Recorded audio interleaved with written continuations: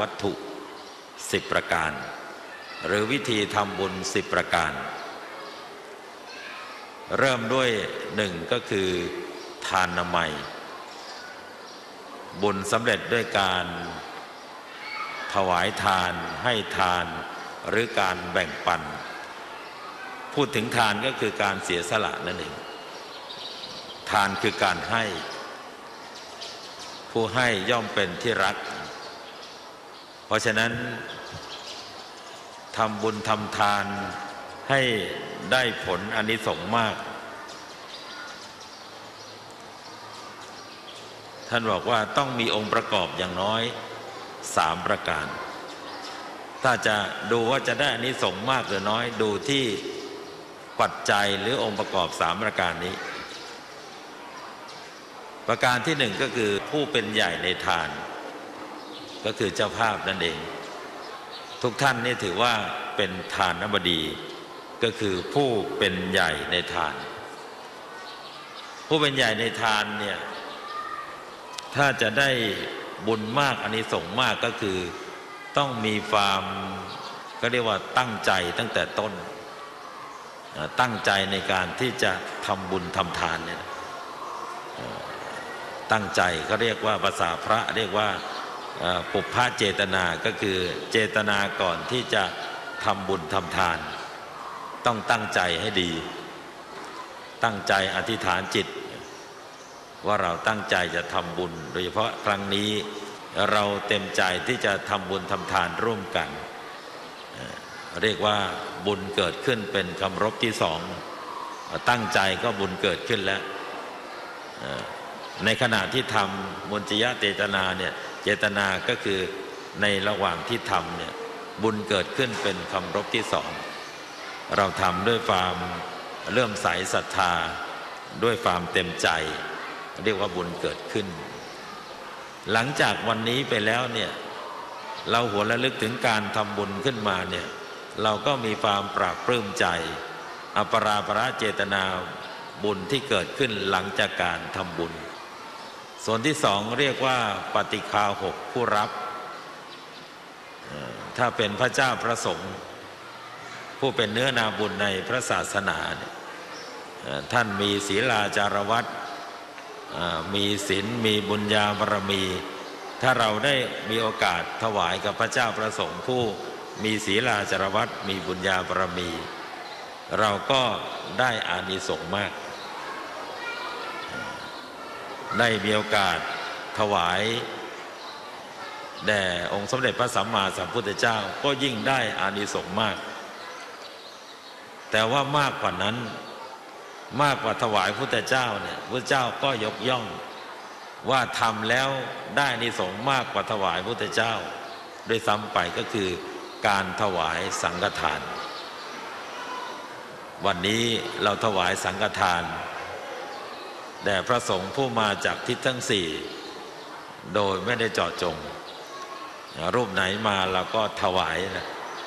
นี่เรียกว่าปฏิคาหกผู้เป็นเนื้อนาบุญในพระศาสนา ส่วนที่สามซึ่งก็สำคัญ ก็คือวัตถุทาน หรือสิ่งของที่เราจะจัดมาถวาย อย่างวันนี้ได้จัด วัตถุทานด้วยความปราณีตวัตถุทานนี้เราจะต้องได้มาด้วยความบริสุทธิ์ยุติธรรม ก็คือได้มาด้วยความสุจริตนั่นเอง เมื่อวัตถุทานที่เราได้มาด้วยความสุจริต แล้วเราตั้งใจเต็มใจถวายหรือมอบให้เนี่ยก็ทำให้เราได้รับอานิสงส์มาก เพราะฉะนั้นถ้าสามองค์ประกอบนี้มีความสมบูรณ์อันนี้สงที่เกิดขึ้นจากการทำบุญหรือถวายทาน หรือให้ทานเนี่ยย่อมได้รับอานิสงส์มาก ตั้งแต่ทานนบดีผู้เป็นใหญ่ในทานปฏิคาหกคือผู้รับ และทานวัตถุหรือสิ่งของที่ถวาย อันนี้คือส่วนประกอบสำคัญของทาน ส่วนที่สองวิธีทำบุญส่วนที่สองเนี่ย อันนี้ไม่ต้องลงทุน แต่ได้บุญเหมือนกันและจะได้มากกว่าด้วยซ้ำไป ก็คืออะไรศีลไมศีลไมบุญสำเร็จด้วยการรักษาศีลถ้าครหัสญาติโยม ตั้งแต่ท่านรองผู้ว่าราชการเป็นต้นไปเนี่ยยกเว้นแม่ชี รักษาศีลห้า ศีลห้าเป็นคุณธรรมขั้นพื้นฐาน ที่พัฒนาคุณภาพชีวิตของมนุษย์ให้เป็นมนุษย์ที่สมบูรณ์ เพราะฉะนั้นศีลห้าจึงถือว่าเป็นหลักประกันคุณภาพชีวิตสินข้อที่หนึ่งเป็นหลักประกันคุณภาพชีวิต ข้อที่สองเป็นหลักประกันทรัพย์สิน ข้อที่สามเป็นหลักประกันครอบครัว ข้อที่สี่เป็นหลักประกันสังคม และข้อที่ห้าเป็นหลักประกันสุขภาพ หรือสติสัมปชัญญะ แค่รักษาสินห้าข้อเนี่ยอานิสงส์มหาศาล นอกจากเราจะมีความสุขส่วนตนแล้วเนี่ยยังทำให้สังคมที่อยู่ด้วยกันมีความสงบร่มเย็น ตอนนี้คณะสงฆ์ได้รณรงค์ให้หมู่บ้านทุกหมู่บ้านเนี่ย รักษาศีลห้าจังหวัดศรีสะเกดถือว่าเป็นอันดับต้นๆอันดับหนึ่งเลยนะที่มีผู้รักษาศีลห้าแล้ว แล้วจัดกิจกรรมเนี่ยได้รับการพิจารณาเป็นอันดับหนึ่ง ติดต่อกันปีหรือสองปีอันนี้แค่รักษาสินห้าอย่างเดียว มีอานิสงส์เพราะนั้นการรักษาสินห้าเนี่ย ไม่ต้องลงทุนอะไรเลยนะไม่ต้องมารับกับพระก็ได้ ตื่นเช้าขึ้นมาตั้งจิตอธิษฐานว่า วันนี้เราจะตั้งใจรักษาสินห้าให้ครบถ้วนบริบูรณ์ ตั้งใจ แล้วเรารักษาจริง อันนี้สงมันก็เกิดขึ้น อันนี้คือการรักษาศีลห้ารักษาศีลแล้วทำให้ กายวาจาของเราเป็นปกติ กายวาจาเป็นปกติก็ทำให้ใจเรานิ่งสงบเป็นสมาธิ เมื่อใจเราสงบนิ่งเป็นสมาธิ ปัญญาก็คือความรู้ความรู้ที่ถูกต้องมันก็เกิดขึ้น สามารถที่จะแก้ปัญหาที่มันเกิดขึ้นในสังคมได้ หรือแก้ปัญหาเฉพาะตนได้ อันนี้คือการรักษาศีล สูงกว่าศีลห้าก็เป็นศีลแปดของอุบาสิกาหรือศีลแปดของแม่ชี สูงกว่าศีลแปดก็คือศีลสิบของสมณีสูงกว่าศีลสิบก็คือศีลสองยี่สิบเจ็ดของพระสงฆ์และที่สูงกว่านั้นก็คือศินสามร้อยสิบเอ็ดของพิสุณี ซึ่งปัจจุบันนี้เถรวาทถือว่าพิสุณีนั้น ขาดหายไป เพราะว่าพิสุณีนั้นจะต้องได้รับการอุปสมบทจากสงฆ์สองฝ่าย ก็คือฝ่ายพิสุสงฆ์กับฝ่ายพินิพิสุณีสงฆ์แต่ว่าในทางมหายานเขายังถือว่ายังมีพิสุณีอยู่ และพิสุณีในต่างประเทศสายมหายานเนี่ยทำงานเก่งมากนะโดยเฉพาะทำงานเรื่องสังคมสงเคราะห์ อันนี้คือศีล ส่วนวิธีการทำบุญ วิธีที่สาม ได้นิสงมากกว่าสองวิธีแรกอีก ก็คืออะไร ภาวนาใหม่ บุญสำเร็จด้วยการเจริญจิตภาวนา การเจริญจิตภาวนาคือการพัฒนาคุณภาพชีวิต โดยเฉพาะสุขภาพใจ ถ้าเราจะพัฒนาสุขภาพใจก็ต้องเจริญ ก็เรียกว่าเจริญภาวนา อย่างเช่นฟังพระสงฆ์เจริญพุทธมนต์ก็ถือว่าเป็นส่วนหนึ่งของการเจริญเจริญภาวนา หรือเราตั้งใจมาปฏิบัติ ก็เป็นการเจริญจิตภาวนา แม้แต่ฟังบรรยายเนี่ย ถ้าเราเอาใจจดจ่อกับเรื่องที่ฟัง ไม่ปล่อยใจของเราให้สัดสายไปในที่อื่น ๆ นิ่งสงบจดจ่ออยู่กับเรื่องที่บรรยายเนี่ยถือว่าเป็นส่วนหนึ่งของการเจริญจิตภาวนา เพราะฉะนั้นการเจริญจิตภาวนาเนี่ยองค์สมเด็จพระสัมมาสัมพุทธเจ้ายกย่องว่ามีอานิสงส์มากกว่าทานนามัยและศีลนามัยด้วยซ้ำไป อันนี้ไม่ได้หมายความว่าทานนามัยศีลนามัยไม่สำคัญ แต่ว่าพูดถึงอานิสงส์อานิสงส์นี่คือโดยย่อวิธีการทำบุญโดยย่อสามอย่าง หรือสามประการนั่นคือทานนามัยบุญที่เกิดจากการบำเพ็ญทานสองศีลไมยบุญที่เกิดจากการรักษาศีลและสามภาวนาไมย บุญที่เกิดจากการบำเพ็ญภาวนาสามประการนี้เป็นแนวทางหรือเป็นวิธีการที่เราจะสร้างคุณงามความดีให้เกิดขึ้นแก่ตนเอง เรียกว่าเป็นการพัฒนาคุณภาพชีวิตของเราให้ดีขึ้น ให้เป็นมนุษย์ที่สมบูรณ์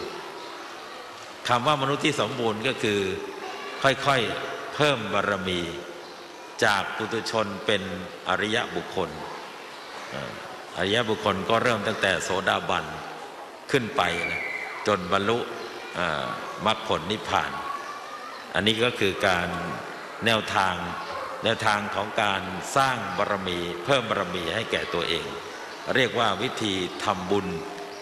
ทำบุญสามวิธี ซึ่งไม่ต้องลงทุนอะไรมาก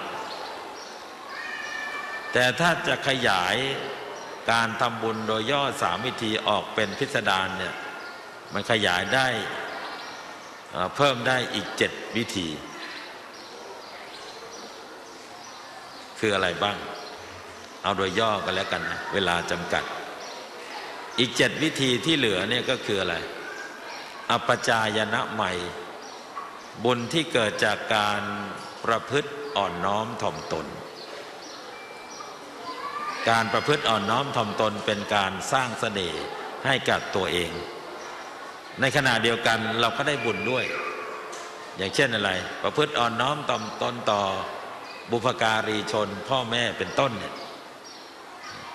เราเป็นการสร้างเสน่ห์ให้กับตัวเอง ถ้าเราลองทำตรงกันข้ามติถามว่าเราจะมีเสน่ห์ไหม นอกจากไม่มีเสน่ห์มันจะกลายเป็นเสน่ห์ด้วยซ้ำไป คือคนไม่ชอบ แต่ถ้าเราประพฤติอ่อนน้อมถ่อมตนโดยเฉพาะเด็กเยาวชนคนรุ่นใหม่ ก็มีบางกลุ่มที่อาจจะออกมาในสังคมที่ลักษณะที่ไม่อ่อนน้อมถ่อมตน มันก็คือการลดเสน่ห์ในตัวเอง เพราะฉะนั้นการประพฤติอ่อนน้อมถ่อมตนเนี่ยนอกจากจะสร้างเสน่ห์ให้แก่ตัวเองแล้ว ก็คือใครเห็นก็เมตตาใครเห็นก็รัก ยังถือว่าเป็นส่วนหนึ่งของการสร้างบุญกุศล ได้บุญอีกต่างหากอันนี้คือข้อที่สี่วิธีทำบุญข้อที่สี่วิธีทำบุญข้อที่ห้าก็คือวายาวัจจะไมบุญที่เกิดจากการขวนขวายช่วยเหลือกิจการงานส่วนรวม อย่างเช่น ปัจจุบันนี้วิยาวัจไมเนี่ยต่อยอดเป็นเรื่องจิตอาสา จิตอาสาก็หมายความว่า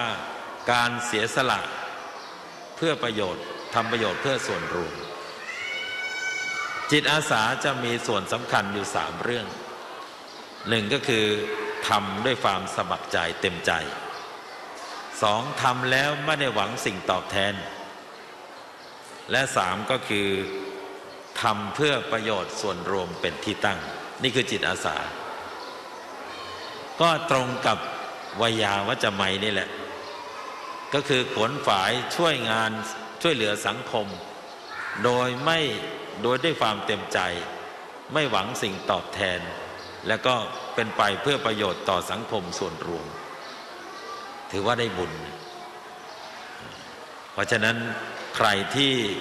เสียสละเพื่อสังคมเพื่อส่วนรวมเนี่ยอย่าคิดว่าเราทำตามหน้าที่ ในขณะที่คนอื่นเขาไม่เห็นทำเลย แต่ว่าเรามาต้องมาทำมาแบกรับภาระ ถ้าคิดอย่างนี้ก็ทำให้เรามีความทุกข์เราต้องคิดว่าเราทำเนี่ยเพื่ออะไรเพื่อความสบายใจของเราเพื่อบุญกุศลที่มันจะเกิดขึ้น เรียกว่าทำประโยชน์เพื่อ ส่วนรวม คือสร้างคุณค่าชีวิตให้แก่ตัวเอง แทนที่จะอยู่นิ่ง ๆ เฉย ๆ ก็ทำประโยชน์เพื่อส่วนรวม ยกตัวอย่างแม่ชีดรระเบียบธีระยานีอยู่เฉย ๆ ก็ได้นะ ไม่ต้องทำอะไรหรอกทำไมจึงต้องมารับภาระสร้างวิไลอาชีวะ สร้างโรงเรียนมัธยม ทั้งที่กันทลาลมและที่จังหวัดนครราชสีมา ก็เพื่อหวังประโยชน์ส่วนรวมไงปลูกฝังเด็กและเยาวชนเพื่อเป็นเป็นคนคุณภาพของประเทศชาติ นี่จึงได้ขนฝ่ายมาทำนี่เรียกว่าเป็นบุญกุศลวายาวัจใหม่สองข้อนี้ก็ขยายผลมาจากข้อไหน อปจายนะไมกับวายาวัจไมเนี่ยขยายผลมาจากศีลไม มันก็คือการทำให้กฎเกณฑ์กติกาของสังคม มันมีความน่าอยู่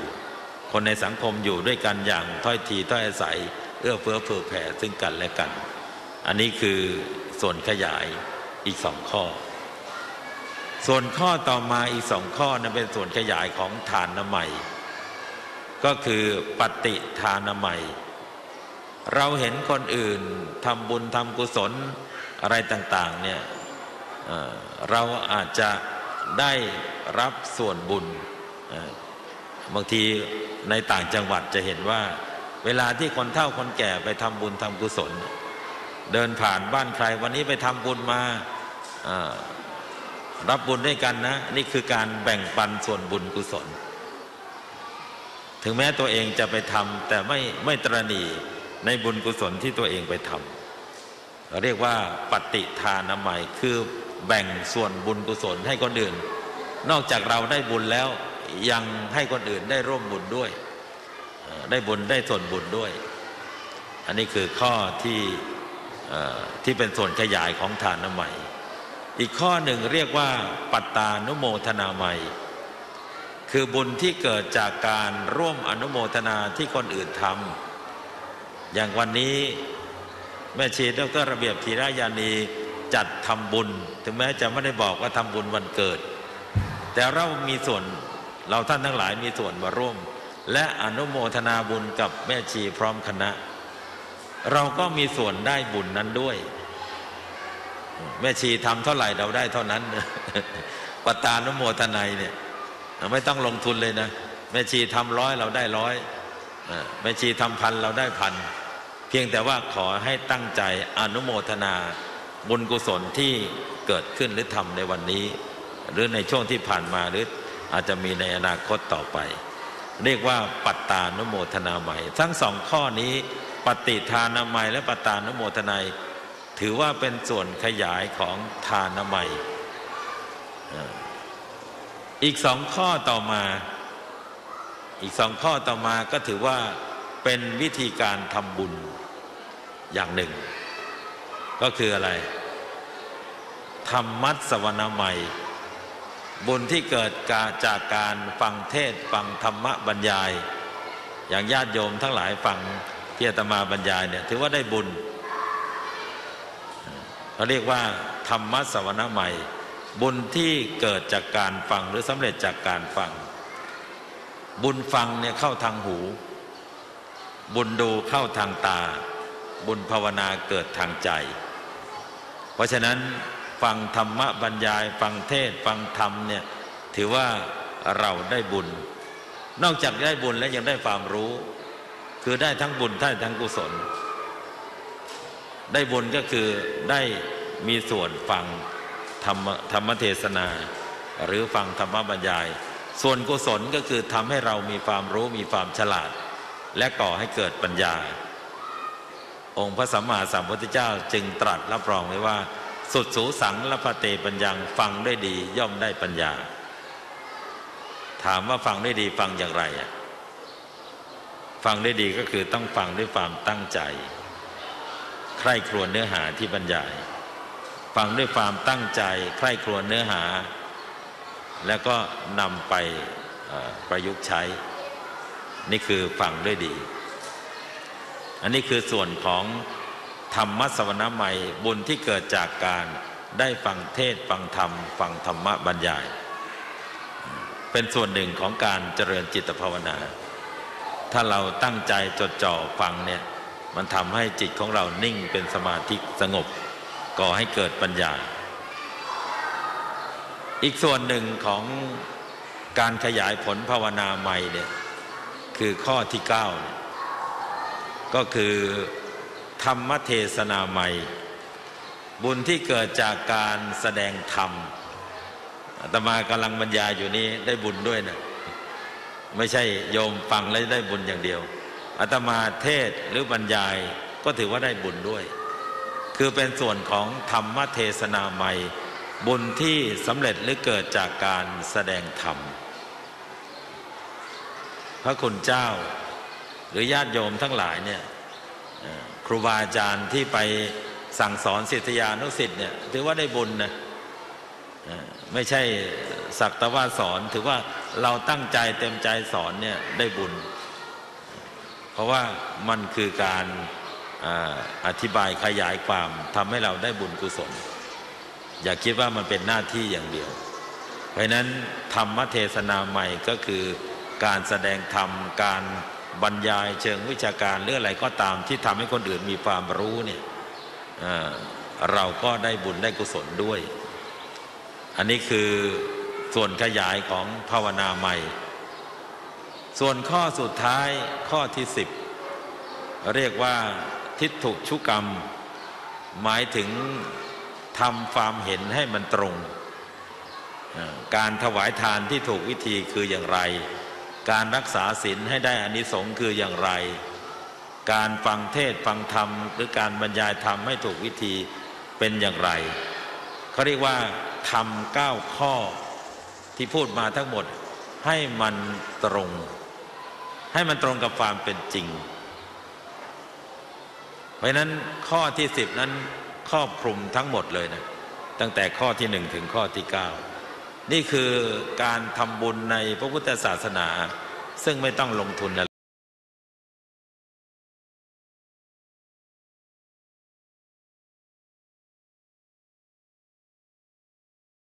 เจริญสุขท่านสาธุชนทุกท่าน โดยคณะสงฆ์อำเภอนางรอง จังหวัดบุรีรัมย์มีโครงการที่จะจัดตั้งกองทุน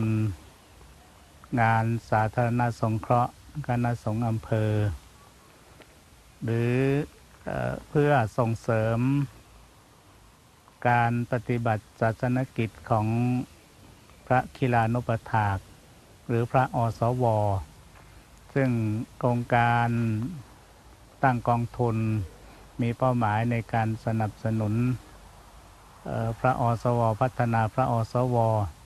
เพื่อที่ อีกอันหนึ่งก็คือเพื่อที่จะ เพื่อที่จะดูแล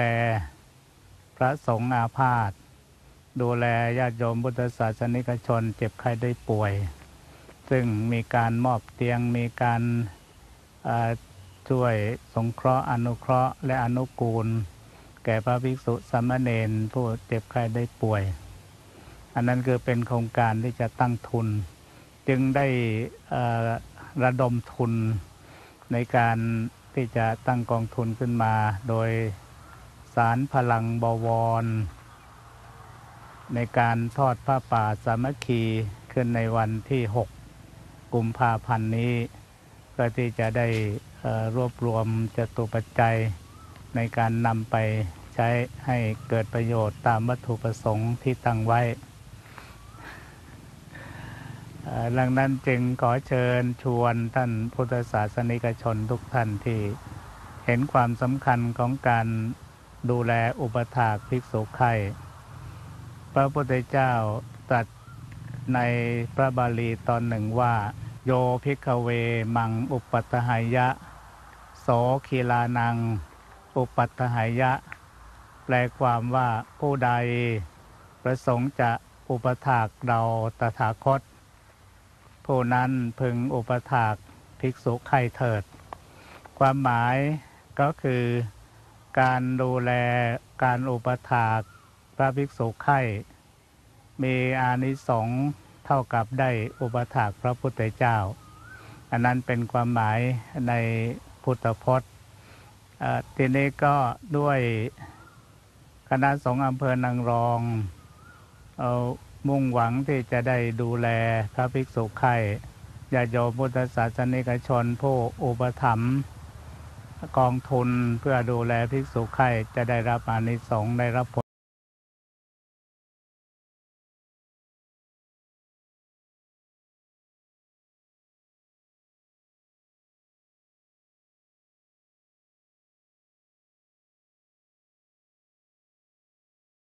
มาสัง